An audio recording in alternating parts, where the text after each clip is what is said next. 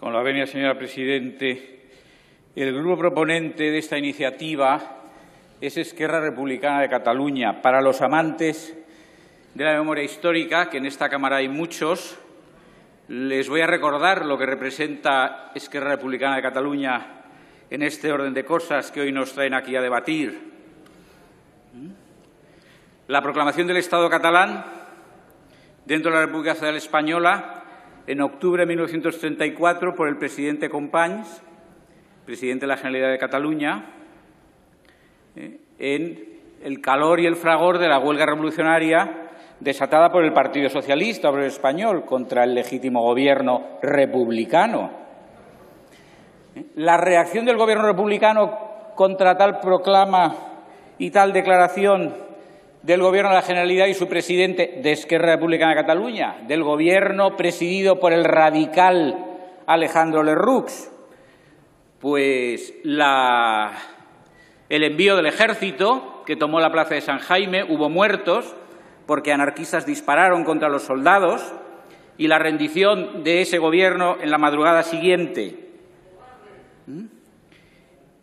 La suspensión de la autonomía por razón de esa rebelión militar. Silencio, por favor.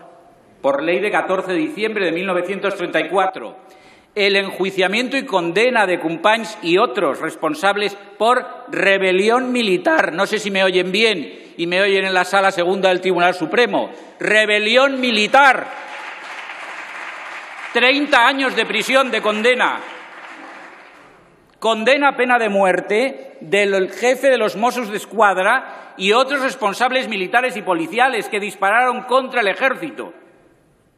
Pena conmutada, por cierto, por el presidente de la República, que era Niceto Alcalá Zamora. Por cierto, compárese esta reacción de ese añorado gobierno republicano por la izquierda con la inane reacción del Partido Popular en los acontecimientos de octubre de 2017. Inolvidable e imperdonable, por mucho que al señor Casado le cueste creerlo, porque entonces no dijo Rajoy hasta aquí hemos llegado, no lo dijo.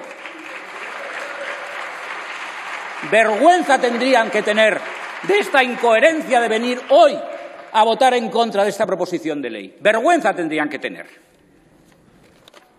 que creo que no la tienen. No por motivos de tenerla, sino por su propia catadura. ¿Qué pretende en definitiva Esquerra Republicana de Cataluña? ¿Qué pretende? Pues lo que pretende es lo que dice. Lo que pretende es que sea impune en España injuriar al jefe del Estado y ultrajar a España. Esto es inaceptable. Esto no hay nación normalmente constituida que se lo permita en el orbe. No lo hay. Dice el señor Legarda, portavoz del Partido Socialista. Bueno, es que esto no significa que van a estar injuriando todo el día, claro. Unos ratos sí y otros no. Ad libitum. Señor Legarda, por favor. ¿Usted ha dicho eso? La sentencia en el asunto Stern y Roura del Tribunal Europeo de Derechos Humanos de 2018. A los que han intervenido en esta sesión y son letrados, suspendidos todos. No han sabido ustedes aprovechar la sentencia. Son muy torpes.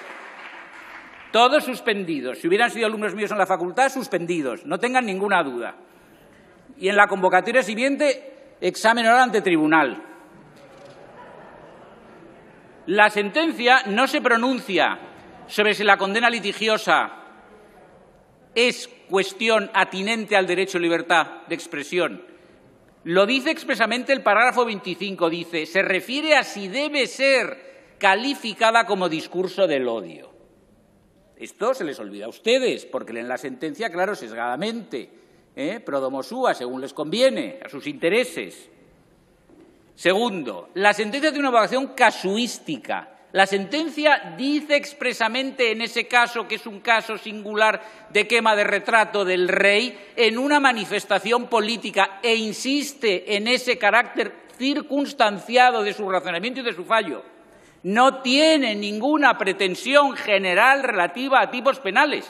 ni siquiera acerca del tipo penal del 493, que es el que es objeto de debate en aquel procedimiento ante la, Cámara ante la Corte de Estrasburgo.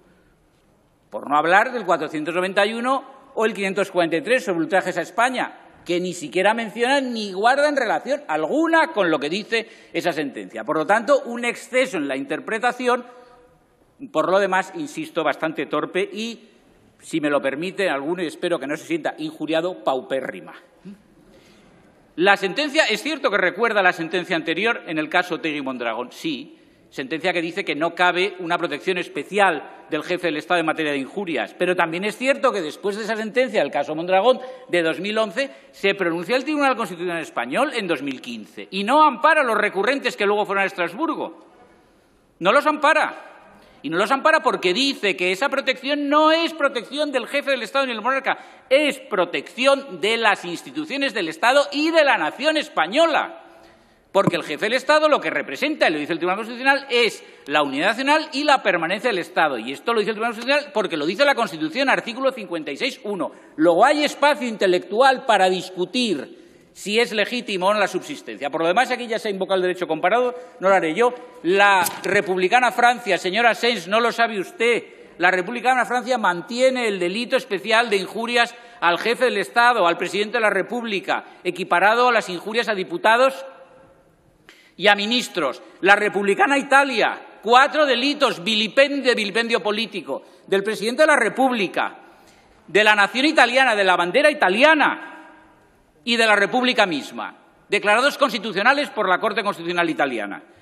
Y otras monarquías parlamentarias en Europa, prácticamente todas ellas, y otras repúblicas, que son Estados Unidos de la Unión Europea. No obstante, si la jurisprudencia del Tribunal Europeo de Derechos Humanos tomase un cuerpo evolutivo en orden a admitir las injurias al jefe del Estado y los ultrajes de España como algo que no debe merecer Señor calificación Sánchez, ha terminado su tiempo. y reproche penal, Muchas Vox gracias. propondría las iniciativas oportunas. Gracias. Muchísimas gracias.